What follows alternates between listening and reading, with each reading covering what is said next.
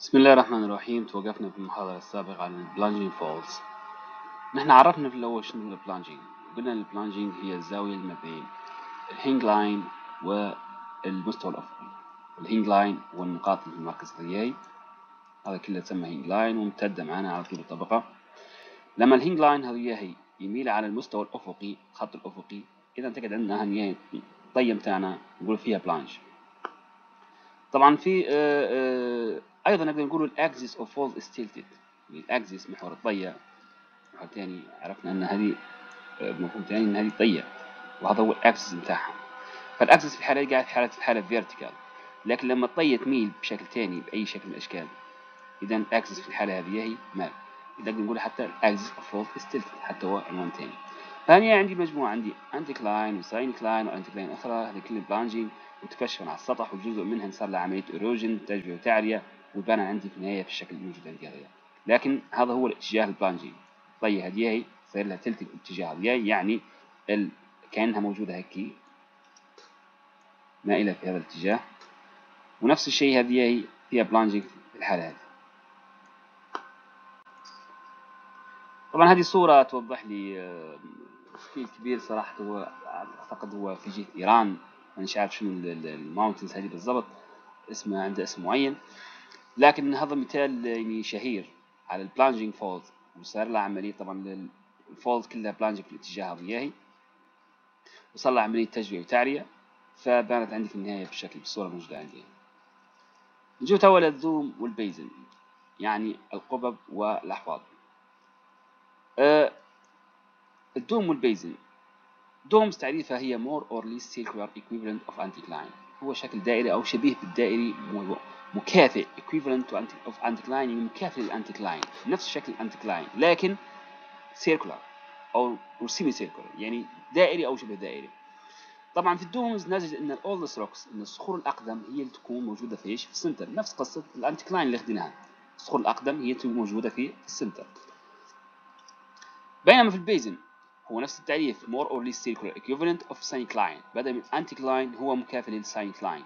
هي الطية المقعرة وبالعكس بدل ما oldest rocks هي الموجودة في ال center نجد أن youngest rocks هي الموجودة عندي في ال center يعني الصخور الأقدم هي اللي تقوست للأسفل وهي الموجودة في إيش؟ في center ال basin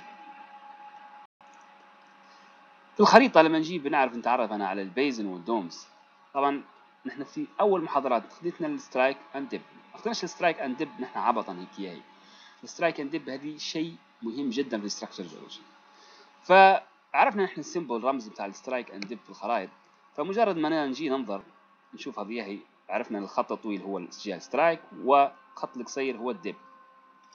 والمفروض إنه يكون حاط عليها شنو؟ جنبها رقم زاوية الميل بتاعها. فلذلك لما نجد ان ال strike كلهن ال dip كلها يتباعدات في الاتجاه في اتجاهات مختلفة فهذا معناته إن الميل كله جاي في الاتجاه هذه في الاتجاهات هذه. اذا فهذه الأمر الطبيعي إن هي إيش؟ إن هي dome قبة.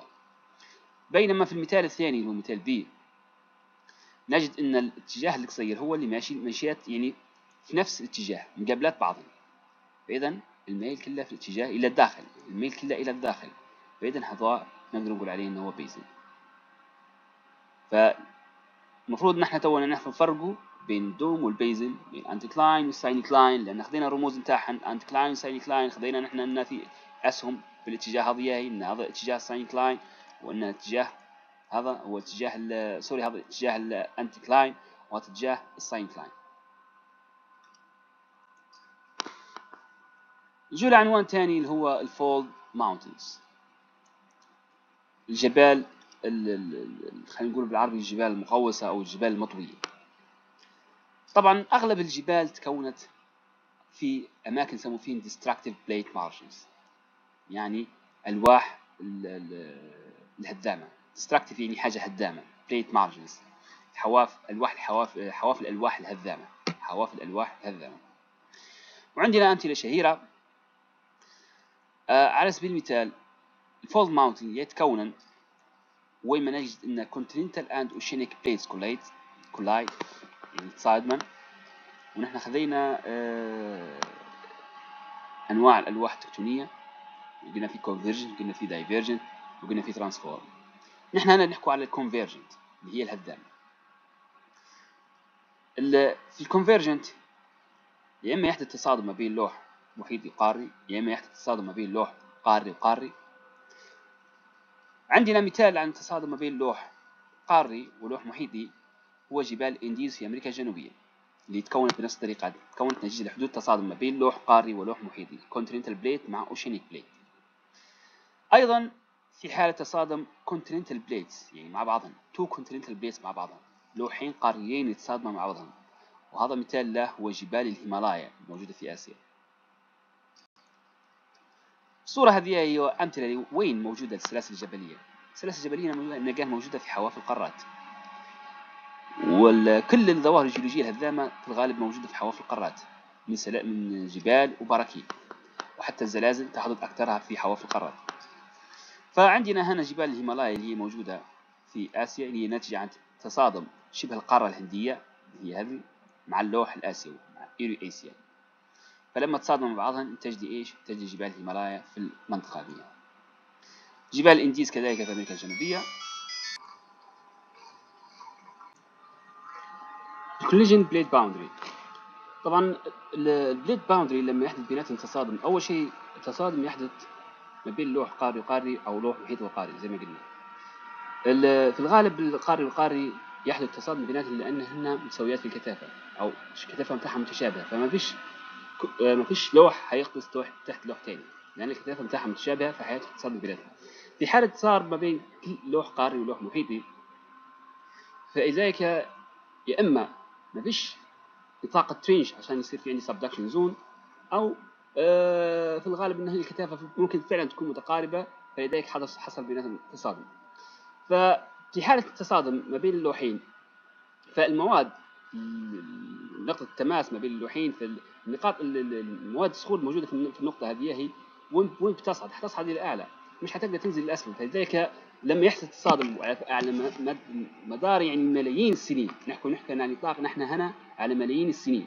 فالمواد هذه حتقعد تعصر بعضها وتدفع بعضها شيئا فشيئا وحتقعد تطلع للأعلى وتتشوه لي على هي تطلع للجبال فيهم folds مختلفة وفيهم faults فيهم تركيب جيولوجية عدة. والطريقة هذه هي نفسها اللي صارت لجبال الهيمالايا اللي هي قلنا تصادم اللوح شبه القارة الهندية مع آه أنا عندي mechanism ثانية كيف إنه يحدث التصادم وهي نفس الطريقة تقريبا نفس الطريقة اللي صارت فيها تصادم ما بين الهيمالايا وما بين ال Indian plate tectonic.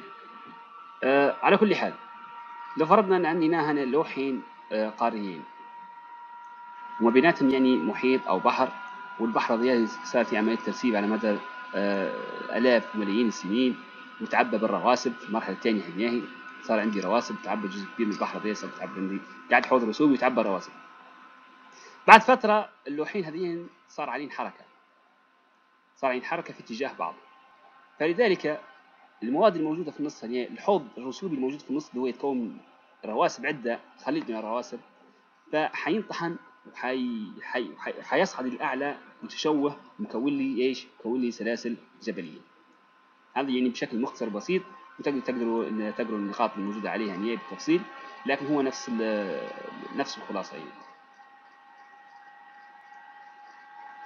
طبعا بعد هذا كله نجي نحن. شنو أهميتها نحن؟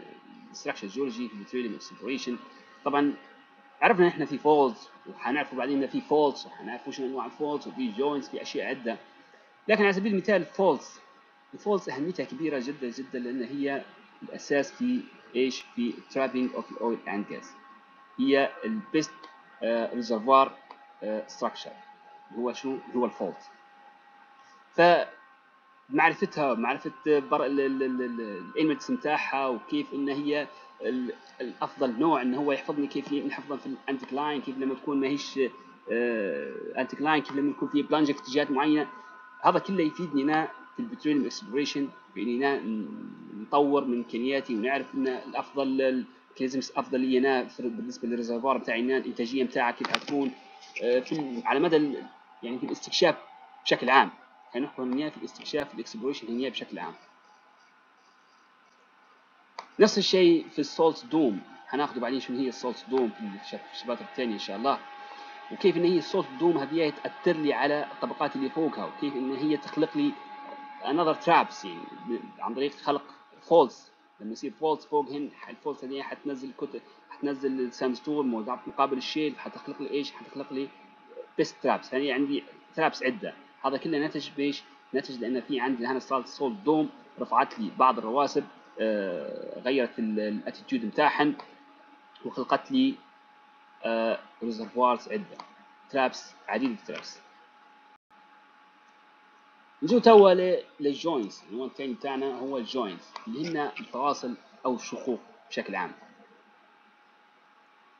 شنو شنو هو تعريف ال joints الجوينتس هي هي أسطح فصل on which no shear displacement has taken place. انها أسطح فصل يعني شق مكان صار فيه تشقق لكن ما صارتش عليه أي نوع من أنواع الحركة. صار بس عندي تشقق وقعد ثابت كيف ما هو وما صارتش عليه أي حركة يعني لا فيش لا كتلة نزلت ولا كتلة ارتفعت طبعا the two wall of the resulting opening typically remain in tight matching contact إن هو بيقول إن ال... إن الشق اللي صار عندي لو عندنا فرضا هذا اياه أساس بشكل عام نحكوه وهذا إياه صار عندي شق. هذا هو الشق بتاعنا. فقاعد عندي كتلة على اليمين وكتلة على اليسار.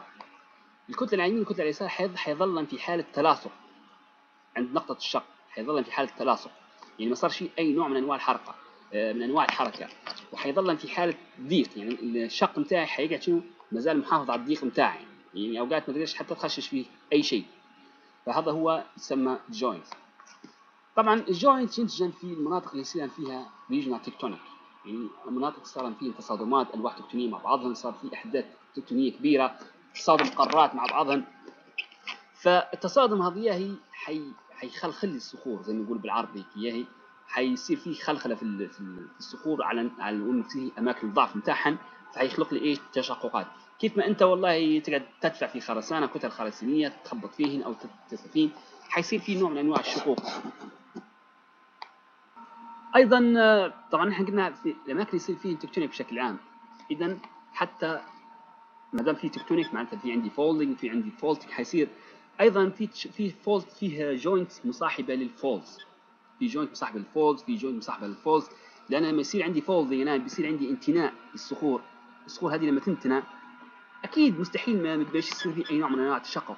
صح هي هي ductile وصار لها عمليه انطواء لكن الانطواء في النهاية بكره هذه هي صخر. فالصخر لابد يصير فيه تشققات يعني لابد مع صار عملية انتناء ما ما صار شيء انكسار كامل لكن حيصير في إيش؟ حيصير في تشققات.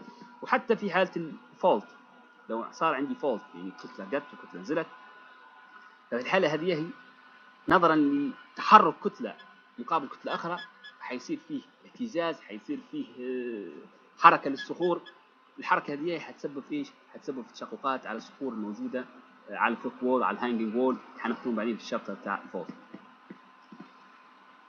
طبعا يقول لك they are they often form under high fluid pressure. أوقات عندي نفس سبسيرفس عندي fluid pressure عالي ضغط سوائل عالي جدا جدا.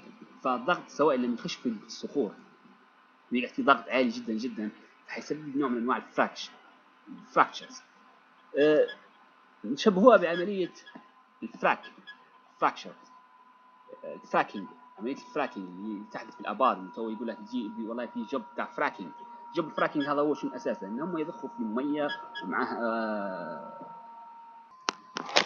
قلنا يضخوا في ميه ومعها حبيبات sand ومعها بعض ال material الأخرى بضغط عالي جدا جدا. فنتيجة إن الصخور مش حتقدر تتحمل الضغط دياهي فحيسبب لي نوع من انواع حتسبب لي تشققات في الصخر فالتشققات دي حتسهل حتسهل لي عملية شنو؟ عملية الإنتاج وحتسهل حتزيد ال porosity وال permeability بتاع بتاعت إيش؟ بتاعت الصخره دي يعني. فهي نفس العملية لما يقعد أنا عندي ضغط عالي جدا سوائل تحت ضغط عالية جدا وتقعد تدفع لي في الصخور قاعد جوا الصخور فحتسبب لي تشققات هي نوع من أنواع ال joints طبعا عندي في مصطلحين لازم نعرفون شيء اسمه joint set and joint system ال joint set نعرفون إنه هو مجموعة من الفواصل لها أشكال واتجاهات متشابهة orientation similar orientation and morphology. وهن في الغالب يحدثن في نفس المكان. الشيء الثاني اللي هو ال joint system اللي هو لما يكون عندي two or more sets يعني sets لما تكون وحدة set وحدة فهذه okay اتفقنا إن هي بس set ما عنديش system لكن لما يقعد عندي two or more sets يعني عندي sets لها اتجاهات وأشكال مختلفة قاعدة هنا. وعندي sets ثانية لها اتجاهات ثانية وأشكال ثانية موجودة هنا فهنا قاعد عندي شو joint system لأن عندي two or more sets هذه set وهذه set. فقعد عندي two or more sets فأخلق لي إيش؟ joint system نجي لعنوان ال geometry. ال geometry هو الهندسه بتاع ال joints. هندسه ال joint هي المقصود به اتجاهاتهن ومقياسهن وأشكالهن و trajectories نتاعهن مساراتهن والمسافة بيناتهن ونقاط التقاطع ونهايتهن. عندنا ثلاث أنواع. عندي bedding contained joint عندي systematic joint عندي non systematic joint. ال bedding contained joint هن الفواصل أو التشققات اللي محصورات في طبقة واحدة. يعني أنا عندي عدة طبقات. زي ما وضع عندي بالمثال هذه فعندي الطبقة اللي في النص على سبيل المثال إن هذه طبقة وهذه طبقة. وعندي اللي في النص الطبقه في النص هذه فيها مجموعة joints يبدأ من بداية الطبقة لنهاية الطبقة لكن ما هنش ممتدات للطبقة اللي فوقهم ولا للطبقة اللي تحتهم طبعا مش ضروري إن هن يكونوا طبقة ممكن هي bedding بس هي طبقة واحدة formation واحد لكن في عدة شنو؟ عدة bedding bedding surface عرفنا شنو هو ال bedding إن مجموعة طبقات يطبقن فوق بعضهم فممكن تكون joint موجودة في النقطة هذه فقط. وممكن تكون موجودة في النقطة هذه فقط. ما هيش ممتدة للطبقات اللي فوق منهم وما هيش ممتدة للطبقات اللي تحت منهم. فهذه هي محصورة بطبقه واحدة فهذا نسموا فيه إن إحنا bedding contained joints terminate at the top and bottom of beds يعني ينتهي في في أعلى وأسفل الطبقة. بينما ال systematic joints هن هن joint اللي يتميزن ب roughly planar geometry يعني مستقيمة. joint مستقيمه يعني المسارات بتاعها لما نحق لنا على السطح نشوف المستقيمات. They have relatively long traces and typically for, uh, form sets uh, of approximately parallel and almost equal spaces. يعني بما معناه إن مسار الفاصل بتاعنا أو التشقق الشق بتاعنا المسار بتاع الأثر بتاعه نشوف فيه باين باين على السطح مسارات طويلة long traces يعني مسار طويل بكل. آه إضافة إلى أنهن المسارات هذينا نشوف فيه إنها متوازيات تعالات موازيات لبعضهن. أيضا المسافة ما بين الشق والشق المسافه ما بين ال joint وال joint شبه متساوية كأنها مقسمة يعني بشكل متساوي. هذا في ال systematic joint يعني كل حاجة فيها منظمة. من هنا جت التسمية نشوف من الشكل بتاعها نشوفهم بشكل منتظم أما ال non systematic joint حيكون عكس ال systematic اكيدا فهن usually short curved and irregular spaces يعني هن قصيرة و curved يعني منحنية منحنيات يعني بأشكال مختلفة. والمسافة ما بين ال joint وال joint يعني irregular يعني عشوائيا. ممكن أوقات نلقى مسافة كبيرة نلقى مسافة قصيرة ما هيش منتظمة. They usually terminates against systematic joint. وفي الغالب ال non systematic joint ينتهن إيش؟ بمقابل systematic joint حنشوفوه تو في الصورة اللي بعدها. طبعا هذا مثال على ال systematic joint نلاحظ إن المسارات تاع ال joint تاعي هذه كلها فواصل فواصل فواصل. أيضا في فواصل جيات intersection لها متقاطعات لها. فنلاحظ إن ال trace هذا اللي بنقول trace هو هذا ال trace بتاع المسار بتاع ال joint فنلاحظ إن المسار تاعها طويلة ومنتظمة وإن المسافات شبه متقاربة منتظمة موجودة يعني حتى بمنظر جميل نوعا ما. أما ال non systematic joint فهي عشوائية. ال joints مسارات قصيرة ومنحنية وفي الغالب ينتهي إيش؟ عند systematic set اللي هي هذا ال systematic set وهذا ال systematic set واحد ثاني لكن غير الصورة ما هيش كاملة. فهذينا نقدر نقول عليه non systematic اللي في النص هذا ال area هذه كلها هذه non systematic ينتهي against شنو؟ ينتهي في نهاية systematic joint اللي هو إن شاء الله تكون الفكرة بتاعه واضحة كويس يعني بالنسبة لل joints في ال fold regions الأماكن اللي يصير فيها عندي ال folds حيكون فيه joints آه، مرافقة للاماكن يصير فيها ال fold طبعا إحنا عارفين انه okay انه يصير عندي folding وإن هو ductile لأن هو صار في انحناء لكن الانحناءات هذه مرافقة لها شنو؟ joint فيه joint مرافقة لها. فعندنا أربع أنواع من ال joints المرافقه ليش؟ لل folds أول شيء هو ال longitudinal joints ال longitudinal joints هي موجودة بشكل موازي لل axis of ال folds هذا ال axis تاع ال fold فال longitudinal joints نلقوها موازية لل axis of ال folds وفي الغالب تكون لي fan around ال fold بالشكل هذا هي fan كيف شكل مروحه around ال fold لأن هي تتعدد تكرر تكرر تكرر longitudinal longitudinal longitudinal ولما تتقاطع في النقطة هذه حتكون لي كيف شكل المروحة. ال cross joint cross joint هذه موجودة بشكل متعامد على ال axis of ال fold يعني تقطع ال axis of ال fold تكون لي مع زاوية قائمة. هذا ال axis تاع ال fold وهذا ال cross joint فحيكون لي زاوية قائمة فهو يقطع موجود بشكل متعامد على ال axis fold ونوع مثال له هو النقطه هذه ال diagonal joint ال diagonal joint في الغالب نلقوهن آه، زوجين من ال joints ميلات على ال axis of ال fold يعني ال longitudinal موازي لل axis of ال fold ال cross joint متعامد على ال axis of ال fold بينما ال diagonal joints موجودات بشكل مائل واللي هن هذين هذه وحدة وهذه اثنين موجودات بشكل مائل على ال axis of ال folds وموجودات في الغالب كزوجين ويقطع عن بعضهن وهن اثنين ميلات على ال axis of ال folds نفس الشيء هنياهي هذا واحد وهذا اثنين ميلات على ال axis of ال folds وقطعات لبعضهم بينما ال strike joints ال strike joints هن parallel لل strike الاتجاه ال strike طبعا عرفنا إحنا وين اتجاه ال strike بالنسبة لل folds هذينا. هذا اتجاه ال strike تاعهم هن كلهن نفس ميلات في نفس الاتجاهات نفس ال anticline هذياه نفس ال anticline هذياه فهذا هو اتجاه ال strike فهن يكونن أول حاجة parallel موازي لاتجاه ال strike ثاني حاجة نلقوهم مقطوعات بال cross joint يعني ال cross joint يقطع لي فيش في ال longitudinal joint هذياه فنسميه في الحالة هذياه strike joints هيك إن شاء الله نكون وضحنا كل شيء آه، يخص ال joints وإن شاء الله تكون الأمور واضحة.